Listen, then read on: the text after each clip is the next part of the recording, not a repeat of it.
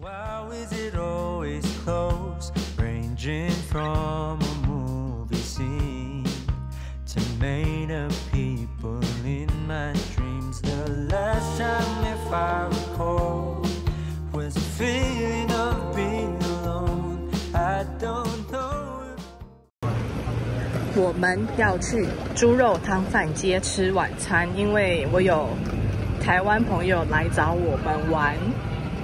为什么会带行李箱？是因为他们带了很多东西要给我，所以我要去装。很久没有这么多朋友来找我玩，因为他们的饭店就在西面，所以想说第一餐就带他们去釜山一定要吃的就是猪肉汤饭。猪肉汤饭，呀！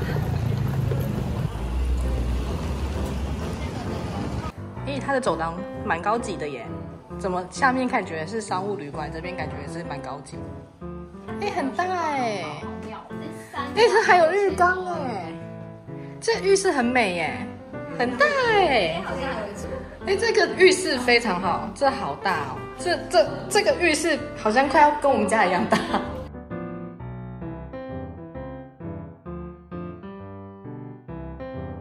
哇哦，真的好便宜耶！这个很好哎，哎，它一楼完全看不出来是长这样，一楼我有点害怕。这个电视也非常大哦，这个房间不错。好了，猪肉汤饭街来了，然后大家应该都是去吃浦项猪肉汤饭，但是我之前就是介绍过最好吃的就是酥庸腿鸡骨煲，所以呢，我就是带我的朋友要来吃酥庸腿鸡骨煲。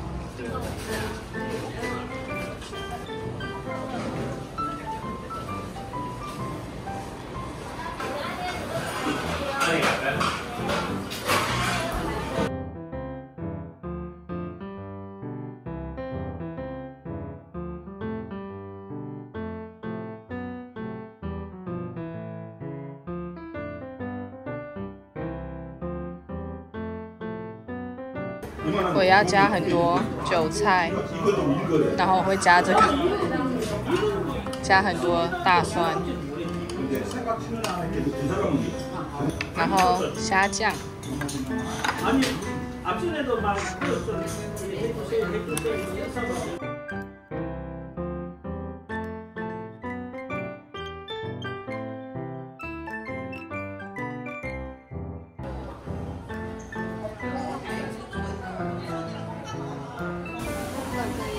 아니요 포장. 떡볶이 1인분 포장.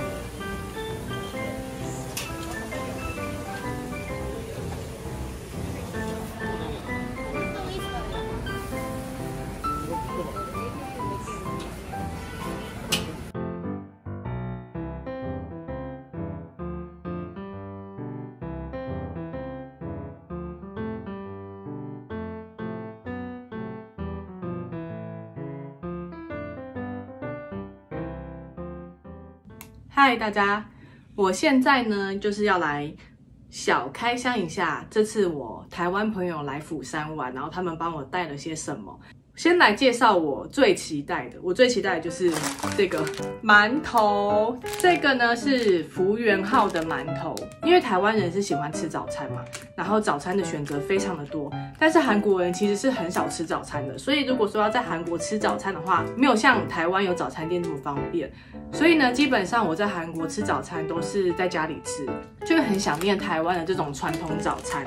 我会选福元号他们家，是因为他们家有那种呃常温就是这样子袋装的馒头，它就是可以常温放一阵子的，所以就他们带过来也比较方便。然后我就是一收到就立刻放到冷冻库去冰起来，想念的时候慢慢的再把它们吃完。嗯，再来这一盒，这一盒是。因为就是他们来的时候是中秋中秋节前，就是异乡台湾人到了中秋节最想念的就是月饼嘛，就已经被我吃掉了三颗。嗯，就是这一次我朋友有帮我去买这一家是玉珍心吗？我其实也是第一次吃他们家的，但是因为我觉得它这个就是一包一包装，就是还蛮方便的，但就是在我朋友要来之前，我妹呢她非常厉害，他们公司好像提前了很早订了一家非常厉害的蛋黄酥，然后他就请我朋友帮我带过来。就是这个，虽然变成这样，是因为我已经把它就是分袋，赶快放进冷冻，因为他们家就是有效期限比较短。这个呢，虽然这样看不出来，就看不出来它是什么，但是它是不二坊，它真的很难买。其实我妹在给我之前，我也不知道不二坊到底是什么厉害的牌子，直到我收到了以后，就上网看，发现哇，它真的超难买。除了蛋黄酥以外，它还有一个是算是绿豆沙的酥，柠檬绿豆沙的那种口味，我也还蛮喜欢的，就觉得嗯还不错吃。但如果说回台湾要我去排队两个小时买的话，我应该。应该是不会去买啦，就是我不会为了这个去排队两个小时。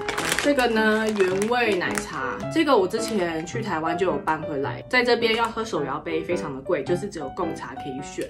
我就是比较常在家里泡奶茶来喝，那刚好我们家的喝完了，我就请我朋友帮我带一下。高粱酒，高粱酒不是我自己要喝的，因为对我来说五十八度还是太浓了。我爸的家人他们还蛮喜欢喝，就是台湾的高粱酒，他们觉得很香，所以我想说中秋节的时候我们可能会回奶奶家，就带去给就是爸爸他们喝。再来就是这个我最喜欢的饼干奇多，就不用再多说了，因为韩国就是没有卖起司口味的奇多啊，我就是最喜欢吃这个，所以我就是请我朋友帮我带了。再来呢。有看到我后面这个床吗？这一整套床包，这呢也是我请我朋友帮我从台湾搬过来的，就很谢谢他。因为这个这一组的话是还蛮大一组的，因为它是包含了整个这个床包啊，跟这个被套，然后还有那个枕头套。我在韩国就找了很久，都没有找到我很满意的床包。因为床包的话，我非常喜欢这种色系，这个色系的话就是有一点。呃，木质感、文青风，我就觉得跟我们家的装潢搭配还蛮好的。我就是呢，把这个床包装上了以后呢，我躺上去就会觉得好舒服哦，就不想要离开床。因为它是天丝制成，加上它里面有加那个胶原蛋白，所以胶原蛋白呢会让它的整个触感会更滑润，而且它的价格非常的划算。因为我在韩国看，要买到这样等级的床包，就是一整组话，最少都要七八千块台币以上。我真的，我真的就是买不下去，所以就请我朋友，刚好他们有空间，请他们帮我带过来。这个床包跟被子啊，我觉得都是非常的透气，你不会说盖着被子盖一盖就全身出汗很不透气这样，它不会，就是非常的透气。我订的这个是加大款的，因为我们家的床垫比较比较厚一点，然后常常我买到的床包都是不够盖下来的，我就觉得很烦恼。我买了加大款以后呢，它包下来了以后也不会说这边整个很崩，就是还是可以松松的，我就觉得非常赞，就不会说每次在包那个床的时候都要全身大汗，硬把它这样扯下来包，就很轻松的可以可以把它包上去。那如果说对伯尼他们家的这个床包组有兴趣的话呢，可以到资讯栏去点选购买。买链接哦，在优惠期间购买的话呢，可以享有折扣价。大家有兴趣的话，就可以去看看。它里面呢有非常多的款式跟颜色，你一定可以在上面就是找到你自己喜欢的款。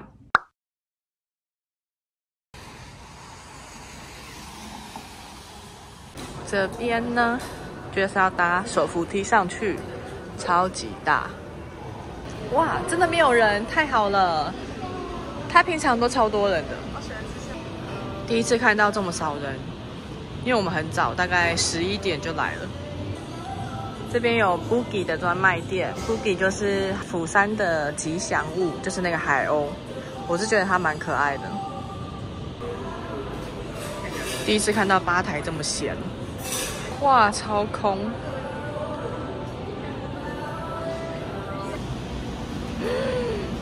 感觉都很好吃哎。而且我们很早来，所以品相都还有很多。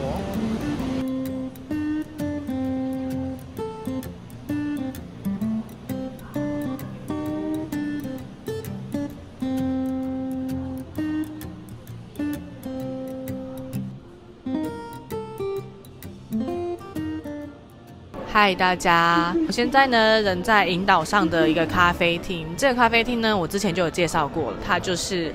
算是釜山最大的咖啡厅吗？嗯，之前在 IG 上有说过，我有台湾的朋友要来釜山找我玩，然后我就是这几天呢会当导游，带他们玩遍釜山，大概四天，嗯。所以呢，我就想说拍这支影片，让大家知道说，如果我有朋友来釜山的话，我会带他们去哪一些我精选的景点。今天的行程呢很简单，这几天釜山的天气没有很好，所以我想说今天就是排 shopping 的行程。我们主要 shopping 的地方会安排在南浦洞那边，因为南浦洞可以逛的地方还蛮多的。然后又有乐天超市可以做最后的什么零食的大采购，那我想说都来到南浦洞了，就是带他们去一个比较特别的咖啡厅，所以我决定带带他们就是拉车到引导这里。这边的话，从南浦洞搭公车过来大概二十到三十分钟，就是有一小段距离。可是我觉得，因为这一家真的很特别，虽然天气是有点可惜，但我觉得还是蛮值得来一下的。其实我还蛮开心的，因为平常我在釜山自己拍片的时候，我不会把行程排这么满，就是很松，分很多天。但是因为朋友来，他们难得来玩，我就很想要赶快把就是好吃的啊、跟好逛的、好看的都赶快介绍给他们。就是这样，跟着丹丹导游一起出发吧。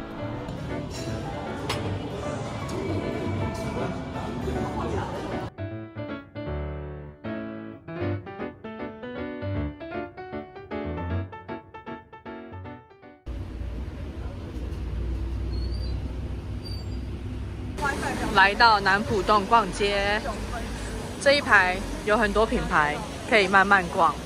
这边呢，很多的品牌都有开一整栋的店。之前疫情的时候，这一整排很多都是关门的，现在都开起来了。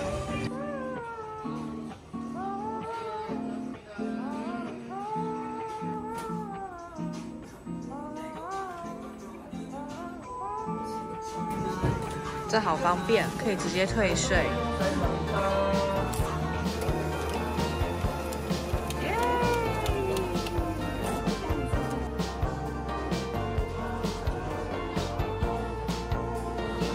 这个太可爱了吧！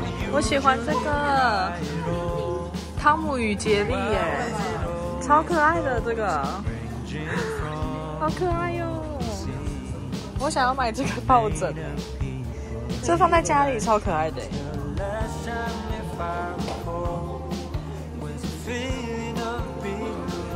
这个烧酒杯超可爱耶！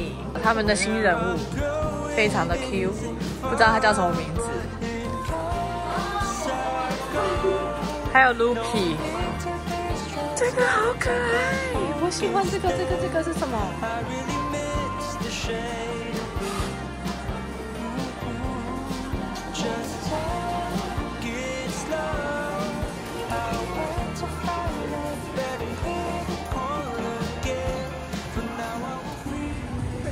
好了，我们现在要吃下午餐，要去吃釜山必吃的荞麦冷面。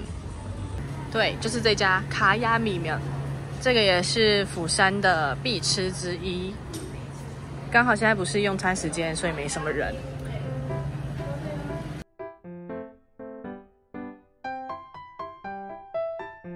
哦，这里面是有肉，来，再次提醒大家，一定要剪哦，不然是会噎到。我都是剪两次，因为我很怕被噎到。然后加入这个芥末，哎呦，我好像加太多了。已经剪过了，我还没剪。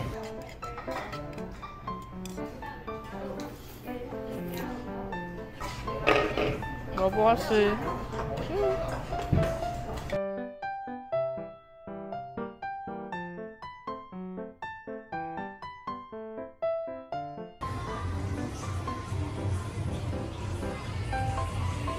好多手机支架哦，而且都蛮可爱的。这个很可爱，很便宜耶，三千九而已。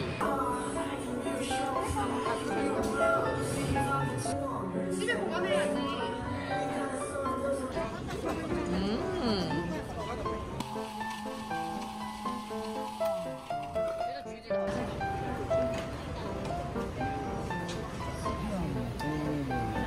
都是坚果。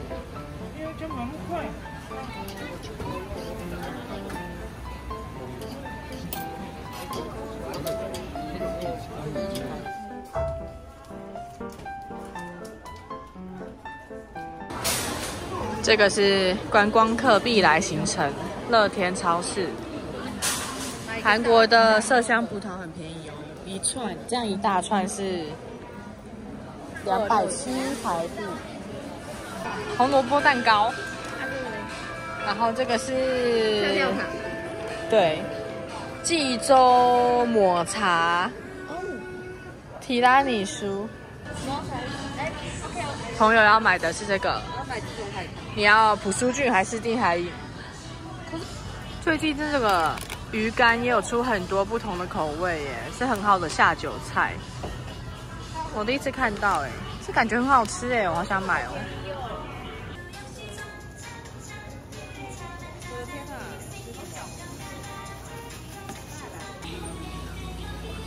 超大。吃过那个奶油炒马面吗？没有哎，奶油炒马面是干的，然后它就是蛮好吃。好吃吗？你有吃过吗？我朋友逛的地方跟我逛的完全不一样，我就是逛一些很家常的东西，他们都在买那个泡面啊零食。我也很喜欢的 h o k a c h i 拿一个东西好了。你这带着回去吗？这很大包哎。我的行李箱很空。好，可以可以。它里面是那个像花生口味的乖乖，然后里面有花生。这个啊，松露口味的虾味鲜，很厉害吗？其实我没有吃过。这个这个我也很喜欢买，杏仁果。有一个那个，现在很多礼盒是因为要中秋节了。你好有效率哦。对啊，因为我的脚一下我可能要花一点时间做着。好像有，大家买的都不一样。战斗力。对呀，好厉害哦。